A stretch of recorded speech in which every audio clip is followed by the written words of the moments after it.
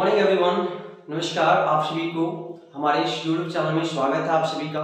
Guys today I have brought a very interesting topic for you all and the topic we are going to study today is common words used in spoken English common words used in spoken English it means कुछ ऐसे common शब्द जिसका spoken English में बहुत ज़्यादा प्रयोग होता है।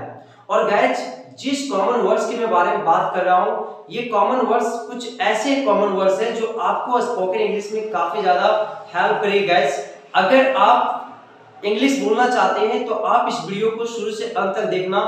ना भूलें, इस वीडियो को शुरू से अंत तक देखें और सभी कॉमन वर्ड्स को एक एक करके बारीकी से समझें, क्योंकि यही सब कॉमन वर्ड्स है जिसका प्रयोग स्पोकन इंग्लिश में बहुत ज़्यादा होता है गाइस तो आप देख सकते हैं बोर्ड पे, स्क्रीन पे आप देख सकते हैं, मैंने बहुत सारे कॉमन वर्ड्स को यहाँ पे क्रिएट किया है, लिखा है। और ये सारे common words it will be very helpful and I can guarantee you that you all will speak English if you learn these all common words ये सारे कॉमन वर्ड्स सीखेंगे तो आप भी डेफिनेटली इंग्लिश बोलेंगे। इट्स माय गारंटी ये मेरा guarantee है। तो चलिए we understand all these common words one by one सभी कॉमन वर्ड्स को हम लोग बारीकी से एक करके समझते हैं। तो first word is here once O N C E once का मतलब होता है एक बार. वंस मींस एक बार. जैसे आप कहते हैं एक बार एक राजा था. Once there was a king एक बार मैं दिल्ली जाऊँगा. Once I shall go to Delhi एक बार मैं आ, एक बार मैंने एक भूत को देखा. Once I saw ghost next word है for the first time for the first time का मतलब होता है पहली बार. पहली बार. मैं आगरा पहली बार जा रहा हूँ। I am going to Agra for the first time I am going to Agra for the first time word है for the last time for the last time का मतलब होता है आखिरी बार। आखिरी बार। जैसे आप आखिरी बार उससे कब मिले तो when did you meet him for the last time when did you meet him for the last time वह आखिरी बार मुझे कोडमा में मिला।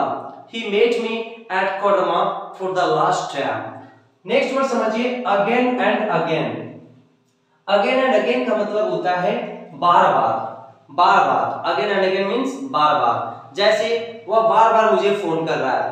He is calling me of again and again तुम बार बार मुझे क्यों डिस्टर्ब कर रही हो?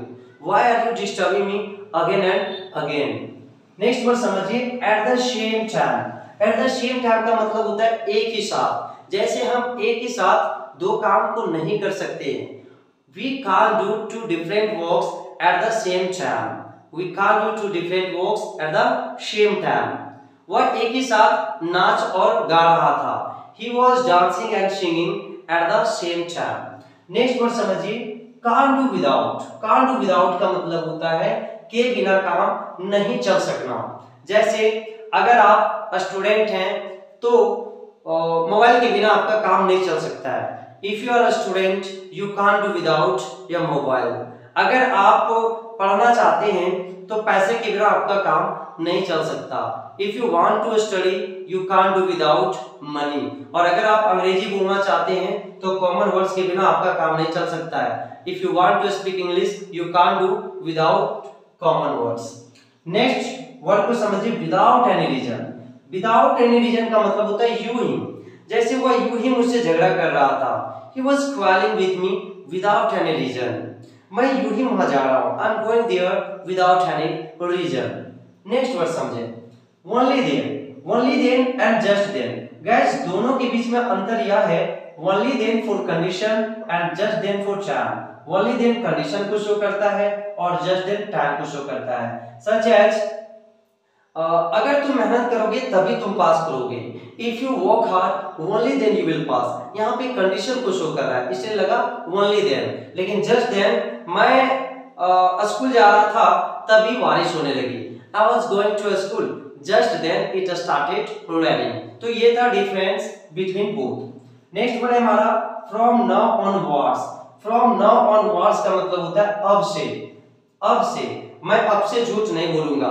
I shall not tell a lie from now onwards मैं प्रॉमिस करता हूँ I promise I shall not tell a lie from now onwards तो नाउ ऑनवर्ड्स का मतलब अब से। नेक्स्ट वर्ड है इवन नाउ इवन नाउ का मतलब होता है अभी भी। जैसे वो अभी भी मुझसे प्यार करता है, वह अभी भी मुझसे प्यार करती है। She loves me even now मैं अभी भी उससे प्यार करता हूँ। I love her even now next word है जस्ट नाउ जस्ट नाउ का मतलब होता है अभी अभी। जस्ट नाउ अभी अभी। मैं अभी अभी आया हूँ।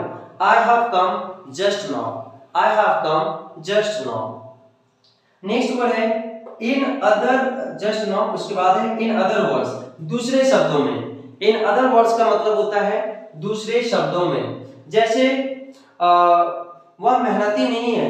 दूसरे शब्दों में कह सकते हो कि वह आलसी है। He is not laborious in the other words, you can say that he is a lazy boy. Next word, one by one. One by one का मतलब होता है दोस्तों, बारी बारी से। बारी बारी से।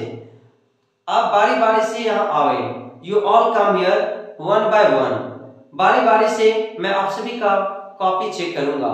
I shall every one's notebook one by one next word है as dot as as dot dot as का मतलब होता है इतना डॉट डॉट जितना की। जैसे, मैं मैं इतना दयालु हूँ जितना कि आप। I am as kind as you मैं इतना तेज दौड़ सकता हूँ जितना कि आप। I can run as fast as you, या as you can next word है नोट शो डोट ये नेगेटिव के लिए और ऊपर वाला पॉजिटिव के लिए। तो नोट शो डोट का मतलब होता है उतना नहीं जितना कि। जैसे मैं उतना तेज नहीं भाई जितना कि आप। I am not so intelligent as you next word है हमारा एनी हाउ दोस्तों एनी हाउ का मतलब होता है किसी भी तरह से। तुम्हें किसी भी तरह से इस काम को करना है। You have to do this work anyhow तुम्हें किसी भी तरह से उसकी मदद करना होगा। You will have to help him anyhow चलिए, कुछ और वर्ड्स को हम लोग समझते हैं। इधर वाले शब्दों को। यहाँ पे जो फ़र्स्ट वर्ड है हमारा वेदर डॉट डॉट और नॉट जिसका मतलब होता है या डॉट डॉट नहीं। जैसे मैं नहीं जानता हूँ कि वह आएगा या नहीं। I don't know whether he will come और not I don't know whether he will come और नॉट नेक्स्ट है शो मच सो दैट यहाँ तक कि। उसने मेरी मदद की, यहाँ तक कि मुझे पैसे भी दिया। He helped me so much so that he gave me money also तो सो मच सो दैट का मतलब हुआ यहाँ तक कि। नेक्स्ट वर्ड है शेल्डम शेल्डम का मतलब होता है शायद ही। वो शायद ही आ सकता है। ही कैन सेल्डम कम भी कर सकते हैं। या तो फिर ही में भी कम ही में कम कहा जाता है। ठीक है। वो शायद ही तुम्हारी मदद करेगा।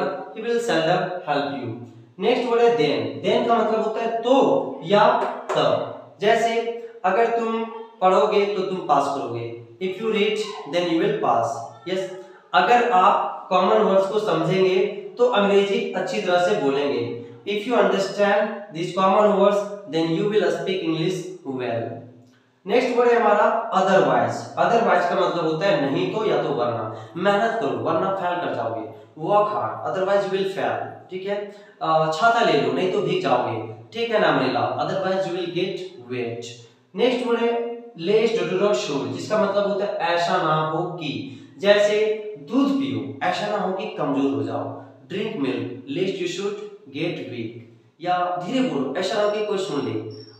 Speak slowly lest anyone should listen next word हमारा on the contrary on the contrary का मतलब होता है बल्कि। जैसे, वह वह अंग्रेज़ी नहीं पढ़ाता है, बल्कि वह हिंदी पढ़ाता है। He doesn't teach English on the contrary he teaches Hindi. Okay next word है then at last then at last then at last का मतलब है तब कहीं। जैसे उसने खूब मेहनत किया, तब कहीं जाकर उन्होंने जॉब पाया।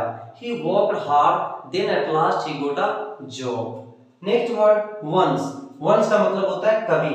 कभी वह मेरा दोस्त हुआ करता था। Once he used to be my friend कभी मैं वहाँ रहा करता था। वंस आई लिव्ड देयर तो वंस का मतलब आपने समझा कभी। नेक्स्ट वर्ड है हमारा एनी टाइम दोस्तों एनी टाइम का मतलब होता है कभी भी या किसी भी समय। जैसे तुम किसी भी समय आ सकते हो you can come any time तुम किसी भी समय मुझे फ़ोन कर सकते हो। You can call me any time next word never दोस्तों नेवर का मतलब होता है कभी नहीं। मैं कभी नहीं उससे मिलूँगा। I shall never meet her या मैं कभी भी तुम्हारा घर नहीं आऊँगा। I shall never come to your house next word somewhere or the other कहीं ना कहीं। Somewhere the other something or other somehow guys ये बहुत इंपॉर्टेंट है, इसको ध्यान देने की कोशिश करें। सम जब यहाँ पे सम के साथ वेयर लग जाता है तो ये प्लेस को शो करता है। सम के साथ थिंक का प्रयोग किया जाता है तो ये वस्तु को शो करता है। और सम के साथ हाउ लग जाता है तो ये तरीका को शो करता है। एंड सम के साथ वन लग जाता है तो ये व्यक्ति को शो करता है। तो ये चीज़ को आप खुद ध्यान दें। सम और अदर कहीं ना कहीं, वो कहीं ना कहीं जा रहा है। He is going somewhere the other मैंने तुम्हें कहीं ना कहीं देखा है। पे अदर के पहले द लगाओगे तो भी ठीक है, नहीं लगाओगे तो भी कोई प्रॉब्लम नहीं है समथिंग और कुछ ना कुछ। वह कुछ ना कुछ खा रहा है। अदर द अदर जैसे तैसे। बच्चे जैसे तैसे बैठे हुए the children are sitting the other next word or later जिसका मतलब होता है, आज ना तो कल, या तो कभी ना कभी। जैसे आज ना तो कल तुम्हें अंग्रेज़ी सीखनी ही पड़ेगी। Sooner or later you will have to learn English then why not now अभी क्यों नहीं सीख? रहे चलिए नेक्स्ट वर्ड है someone or the other जिसका मतलब कोई ना कोई। Someone or the other कोई ना कोई। कोई ना कोई तुम्हारे लाइफ में भी आएगा someone or other will come into your life या तो वह कि, वह किसी ना किसी का इंतज़ार कर रहा है देखिए सब्जेक्ट के रूप में भी इसका प्रयोग किया जाता है ऑब्जेक्ट के रूप में भी प्रयोग किया जाता है। जैसे वह किसी ना किसी का इंतज़ार कर रहा है। He is waiting for someone or the other next word है हमारा हियर एंड देयर इसका मतलब होता है जहाँ तहां जैसे जहाँ तहां या, जहाँ तहां। तुम बच्चे जहाँ तहां खेल रहे हैं। The children are playing here and there आप जहाँ तहां क्यों बैठे हैं? Are you sitting here and there next word है डे बाय डे जिसका मतलब होता है दिनों दिन। दिनों दिन वह पतला हो रहा है। Is getting thinner and thinner day by day तो डे बाय डे का मतलब आपने सीखा दिनों दिन। तो गाइस ये था कॉमन वर्ड्स उम्मीद है कि आप लोग को यह समझ में आया होगा। गैस इसे समझने से काम नहीं चलेगा। बल्कि इसे आपको यूज़ करना होगा। आप इसे बोलने में जितना ही यूज़ करेंगे, उतना ही ये आपके लिए बेहतर होगा। तो मैं रिक्वेस्ट करूँगा कि आप इसे समझें और इसका यूज़ करने का कोशिश करें। तो गैस उम्मीद है कि यह वीडियो आपको ज़रूर अच्छा लगा होगा। टॉपिक भी आपको ज़रूर अच्छा लगा होगा। अगर यह टॉपिक अगर आपको अच्छा लगा हो तो इस टॉपिक को क्या करें, यानी वीडियो को लाइक करें शेयर करें, ताकि दूसरे लोगों को भी बेनिफिट मिले और हमारे चैनल को सब्सक्राइब करें ताकि मैं इसी तरह का जो वीडियो बनाऊँ, उसका नोटिफिकेशन आपको मिल जाए। चलिए गाइस आज की वीडियो में इतना ही। Have nice day thank you और थैंक्स